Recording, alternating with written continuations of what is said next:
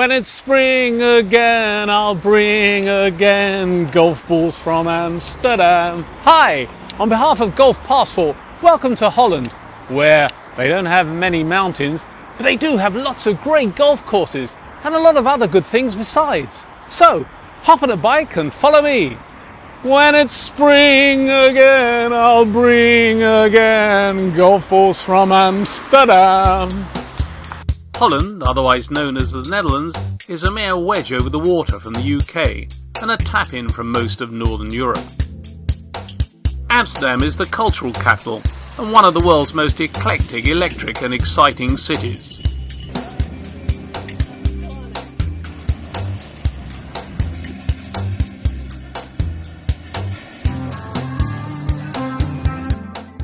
So, this is Holland, land of bicycles, boats, and birdies? Too few golfers realise that Holland has some of the best courses on the continent.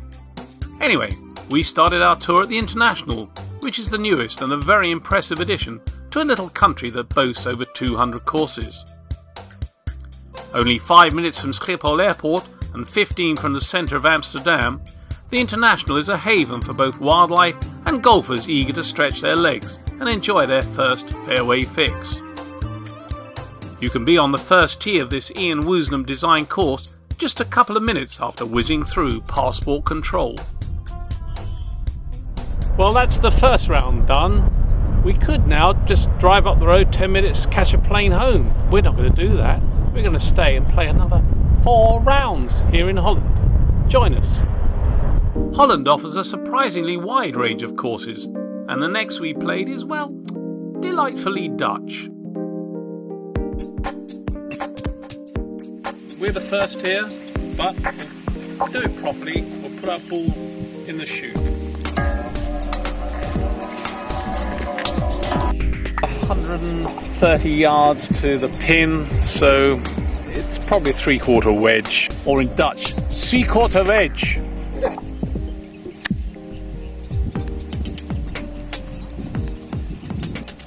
Not everyone at Zandvoort dislikes the water. In fact, the wildlife appear to be thriving in this delightful Dutch idyll.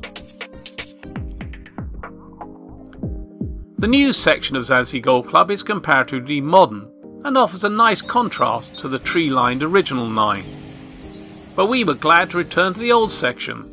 Yes, delightfully Dutch just about sums it up. Just two minutes from Zandvoort Golf Club, and we were in windmill country. Zaanse Schans is a small village on the banks of the Zaan River, complete with tidy little Dutch houses and genuine working windmills. In the 17th and 18th century, thousands of windmills powered the Dutch economy, not just pumping water, but providing the energy for sawmills, dye mills, oil mills, and of course, flour mills.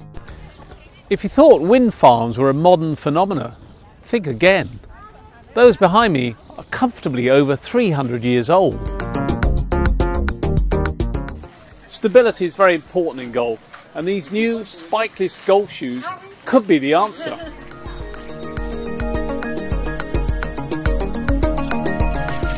Back in Amsterdam, the only slopes we found were on the bridges over canals.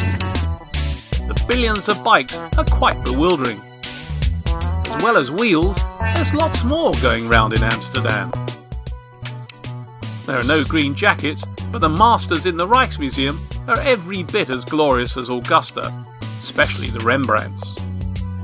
Van Gogh lived in Amsterdam for a short while, and there's a museum dedicated to his work. But we opted for something altogether more edifying a tour around the old Heineken brewery. Birch Cliff consists of three loops of nine, the original two playing through the forest, and the newest nine over more open, gently undulating ground. It's tough and tight through the tree lined loops, the new section is roomier and more forgiving.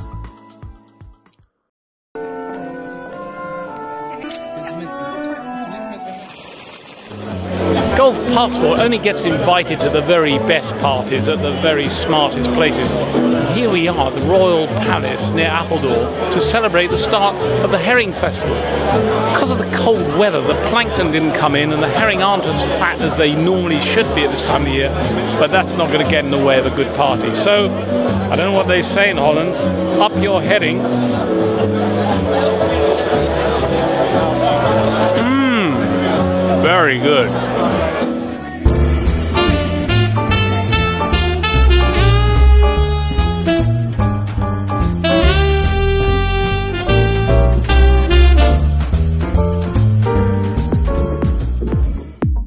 Kennemer is a good old fashioned style club, but not in the way some members choose to arrive. The course was first created in 1910 and was rather a rudimentary affair. Harry Colt was commissioned to lay out a proper 18 holes in 1927, and Dutch course architect Frank Pennink had more holes in the mid 1980s. Today, Kennemer presents 27 excellent links holes that have regularly hosted the Dutch Open. It's not all dunes, but the turf still offers the same excellent sandy firmness, and the greens are all undulating and immaculate. If you like links golf, you'll love Kennemer. Our final round of the trip was at Lage just south of Amsterdam. An American style course designed by Robert Trent Jones Jr., it weaves through tall trees around a few lakes. It's wonderful and offers several miraculous greens with seemingly magnetic holes.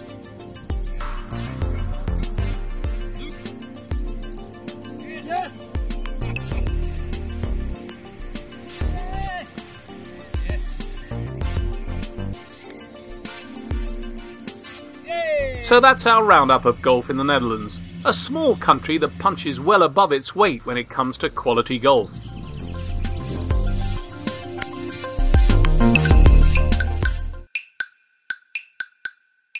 The Golf Road Warriors uncover another rare golf getaway with a host of off course activities amidst the beautiful beaches of Fort Myers and Sanibel in sunny southwest Florida. Let's meet the Golf Road Warriors. I'm Hal Phillips, I'm a golf warrior, and I'm proud.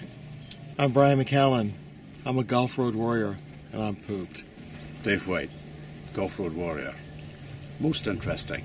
Tom Bedell, Golf Road Warrior. Is it over already? Our base for this Gulf Coast golfing fiesta was the captivating Hyatt Regency Coconut Point Resort and Spa in beautiful Bonita Springs. An exceptional resort, extremely comfortable and relaxed, with easy access to one of the finest courses in this area, Raptor Bay. Besides being an excellent, compelling test at every turn, it's an Audubon International Gold Signature Sanctuary, the highest environmental designation given to any golf course, and you're sure to enjoy a flyby by some of its many residents.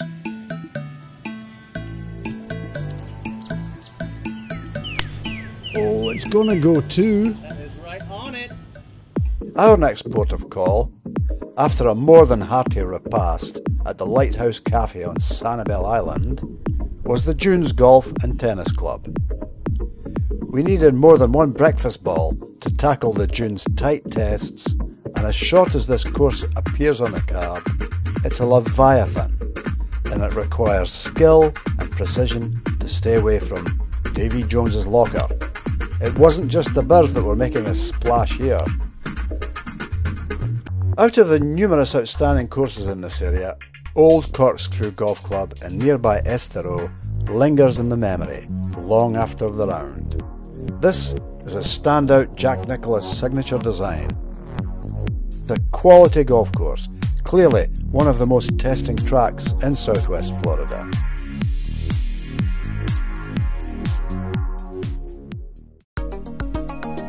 Golf in the Fort Myers and Sanibel area doesn't always have to be serious as the Golf Road Warriors discover at Smuggler's Cove Adventure Golf in Fort Myers Beach. Oh, thank you very much.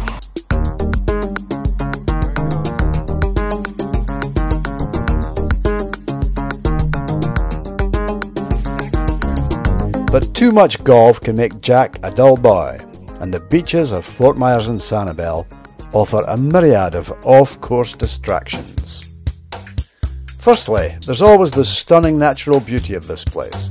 Just take a drive or stroll along one of the many powdery white sand beaches.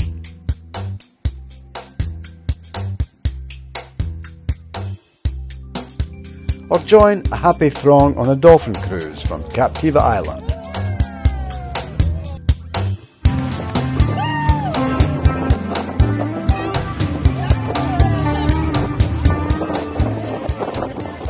Getting back to terra firma, one attraction you cannot miss is the Edison and Ford Winter Estates in downtown Fort Myers. These innovators of the industrial era invented so many modern conveniences, and it's perhaps telling that they discovered Fort Myers as their winter escape. When it comes to dining, inevitably you'll find your way to the Bubble Room, it's a fun food factory, chock full of childhood memories, and portions of overwhelming proportion. But there are dozens of exceptional restaurants throughout this area, and we tried our level best to sample as many as possible.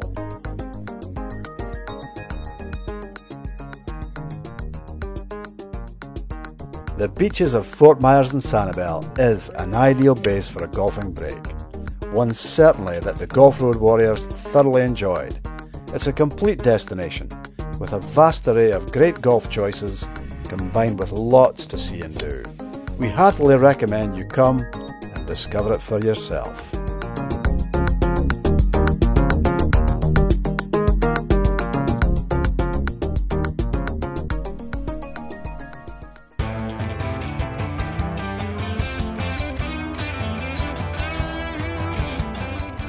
Until recently, people didn't think about Turkey as a golf destination.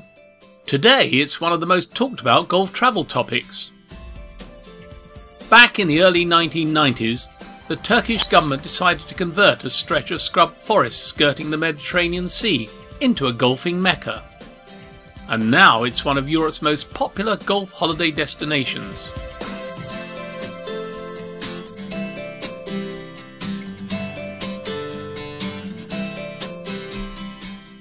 One thing you'll notice from the start Turkish people don't make any effort whatsoever when it comes to service.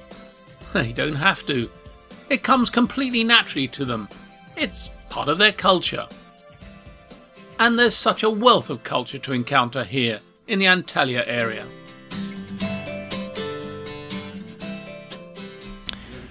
Well, here we are in the ancient city of Perge. It's mostly Roman and well, it obviously had everything. It had shops, it had a sports arena, had a theatre, it had bars, swimming pool, everything except one vital element that was missing no golf course. And that, we may assume, was the downfall of Perge. Nearby Aspendos offers a remarkable semicircular amphitheatre, considered one of the best preserved examples from the ancient world. J57. I think I'm up there somewhere. And it's worth continuing up the hill to the village of Aspendos and the spectacular Roman aqueduct. If the heat of Antalya is too much, escape to one of the many cool, shady waterfalls that surround the city. Rivers tumble from the high Taurus mountains and leap out in turquoise splendour.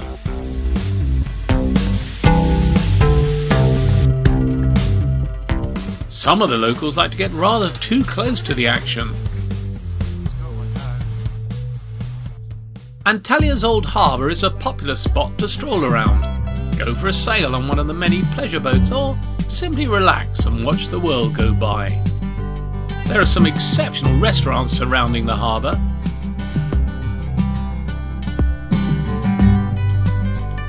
So, what about the golf? It's as good as you'll find anywhere on the European continent, possibly better. There are signature courses by Nick Faldo, Colin Montgomerie, Perry Dye, and Dave Thomas, but really, there's not one in the entire area that disappoints. Antalya Golf Club offers two splendid 18 hole tracks. The PGA Sultan is surely one of the best on the coast. The Montgomerie recently hosted the inaugural Turkish Airlines Open, the first European tour event to be staged in Turkey. It's a magnificent track that weaves through high pines and luscious lakes. Right on the shore of the Mediterranean lies Lykia Links, one of our favourites.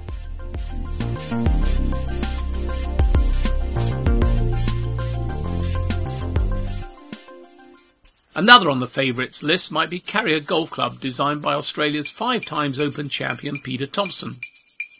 The Surrey style heathland is reminiscent of Wentworth's Sunningdale or Walton Heath. Although I can't ever see Sunningdale or Walton Heath adding floodlights for night golf.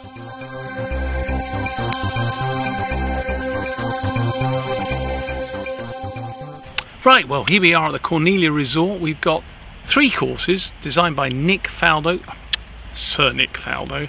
Uh, there's the princes, the queens, and the kings. And a right royal flush they are too. Splendid courses, every one.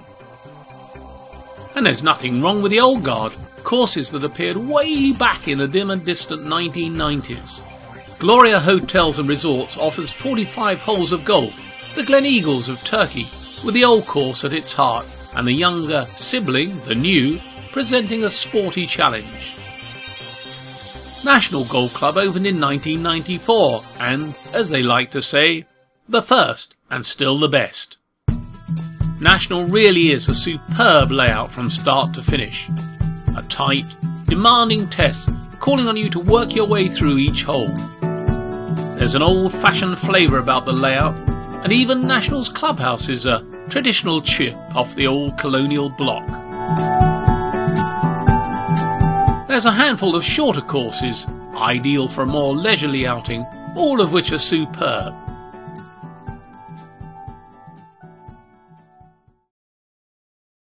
Hi, I'm Roberto Borgatti, and welcome to the Resort at Longboat Key Club, where I'll be guiding you through golf's unique challenges to help you improve and maximize your game so you can achieve a swing you can trust. What's important right from the start is getting a good warm up. It starts here, getting some blood pumping. First step is getting your heart rate up a little, getting the body warmed up and awake. Then we'll take it to the range for a few swings. Most gyms have a medicine ball, so it's an easy way to warm up your swing motion before you get on the range. So just some nice easy swings. And you can rehearse the strokes too. So the body's feeling good, and now it's time to warm up the game. I always like to start with a few pitches and chips, just to get the rhythm going, comfortable motion.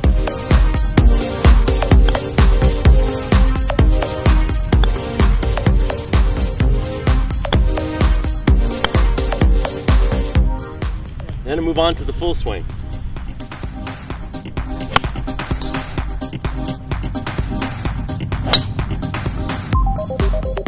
After your warm up in the gym and on the driving range, it's important to start with great posture.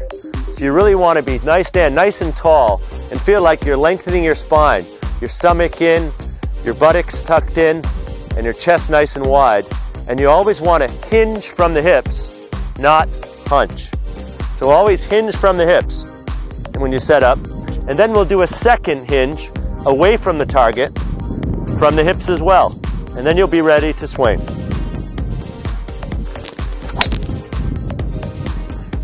Now another key element is knowing how far to stand away from the ball. Should you have your arms hanging real close to your body? Or should you be fully extended and reaching? Where you want to have your arms is where centrifugal force naturally sends them during a swing. So if you make a practice swing of the same intensity that you would make for a normal swing and stop around impact, you'll feel where your arms want to go through the swing, and that's where you want to set up.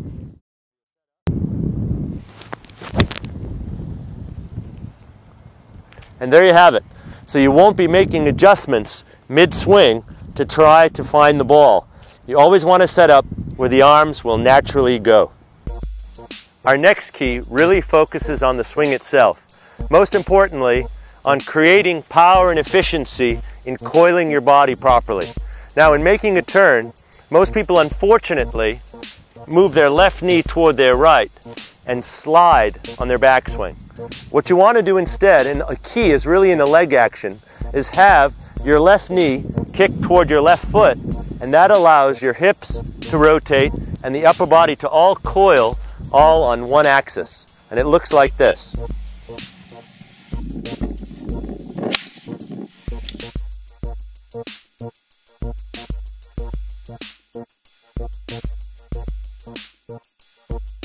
All players need a precision short game, and the essence to a precision short game is the rhythm of your stroke.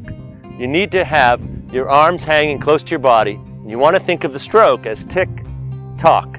And so if you make your stroke to that rhythm, you'll find yourself much more consistent with solid contact and control. And it looks like this. Tick, tock.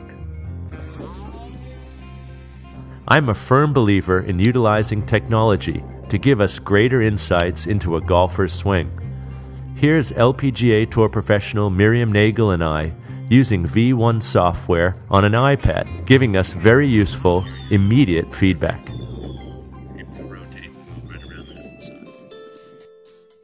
Yoga not only builds strength and flexibility, but creates a greater sense of calm and focus, which is great for golf and every other aspect of your life. Followed by a wonderful brunch.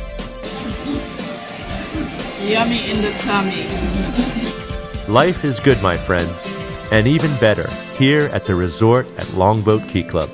Look forward to seeing you soon. You can learn more with my DVD and ebook series, A Swing You Can Trust, where you'll find simple, comprehensive lessons to help you achieve a swing you can trust.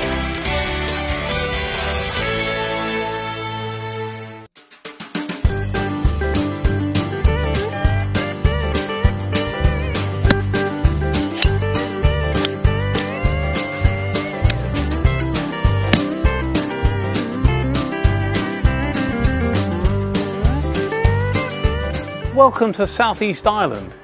We've just arrived for what is going to be an absolutely spectacular week of golf. The weather is stunning. I've not even brought a pair of waterproofs or a sweater. It's going to be that good.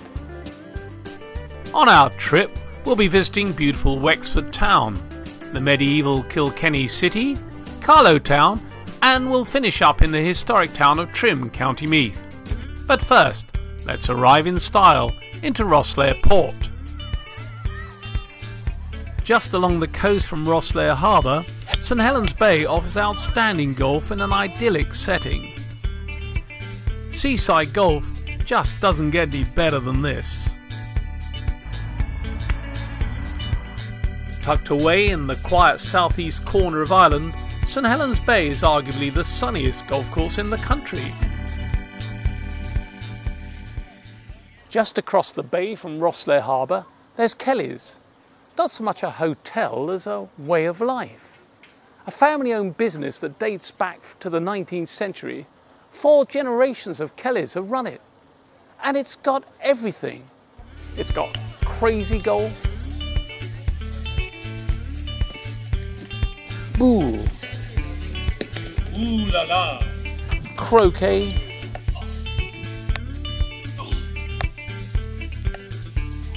table tennis, a sea spa, tennis. If all that's too tiring for you, you can enjoy the gardens or simply lie on the beach. Only a few minutes further north is Rosslare Links. There's something quite magical about a genuine links, and any golfer with a feeling for the game's history and traditions surely appreciates glorious links golf.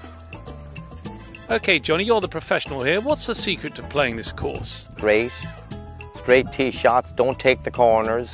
When you get into trouble, get it back on the on the fairway very quickly. You see that this time of the year the course plays very fast, and if you don't play it from the fairway, it's a very tough golf course. Now, it looks rather golden, rather brown. I- Is that unusual? It is unusual. This is our best summer in eight years here. Our driest summer.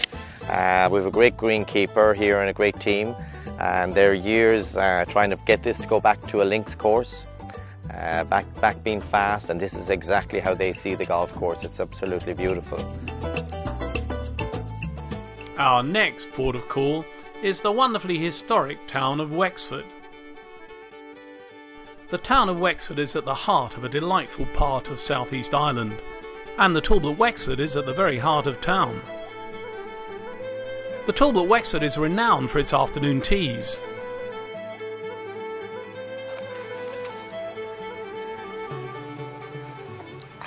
Not all tea times are on the golf course, you know. Let's jump in the car again and see what else this wonderful part of Ireland has to offer.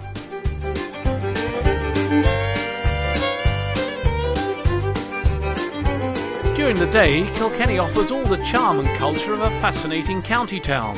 But be prepared for when the sun goes down. That's when things really step up a gear. Well, here we are in downtown Kilkenny, and the place is jumping. It's jumping even higher than it would normally. Why? Because Kilkenny beat Waterford in the hurling match. If they'd lost, they'd still be jumping about, but as they won, they're going crazy.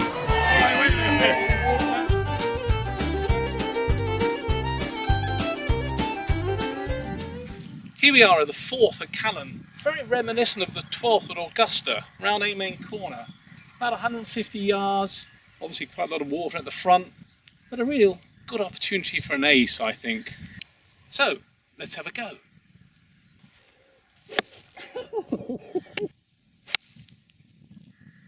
Get in the hole!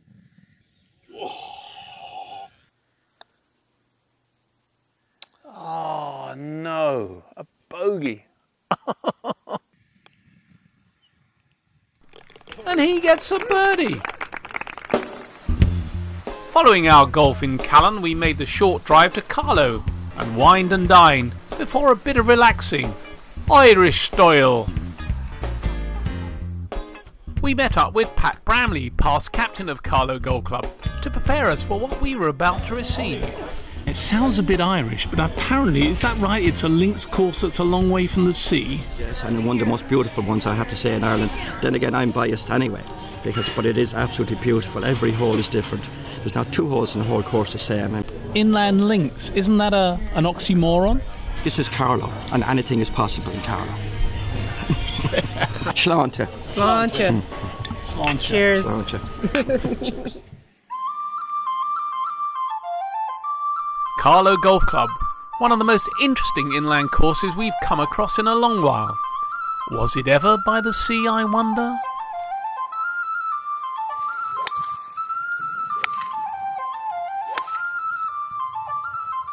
Yes. And on to our final destination. We're now in a place called Trim. What better place to have a haircut? Trim has this classic castle, a powerful symbol of Norman strength at the edge of the Pale, which was a small area of Anglo Norman influence on Ireland's eastern coast. I'm an Englishman and they brought me to the place where Braveheart was filmed. And now look what they've done to me. Through Trim flows the ever so peaceful River Boyne. The famous Battle of the Boyne was fought in 1690 between Catholic King James and Protestant King William. You're never alone for long in an Irish pub. Our final retreat on this great golf trip was Knightsbrook Golf and Spa Resort, about 30 miles west of Dublin. A magnificent hotel with a stunning course we absolutely loved. Knightsbrook does a top notch breakfast to set you up for the day's golf.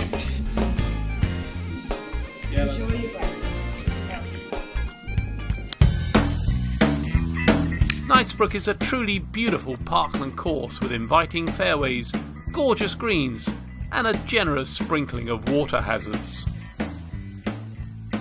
Knightsbrook recently hosted the Junior Solheim Cup and is consistently voted in Ireland's top 100 courses, year after year after year. And it's not hard to see why.